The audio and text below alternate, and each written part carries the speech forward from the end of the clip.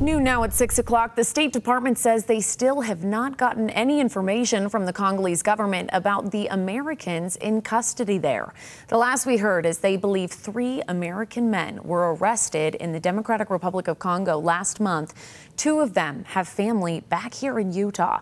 The U.S. Embassy in Congo says the government declined to say whether the Americans will appear in court, as the families are still trying to confirm whether their sons are alive.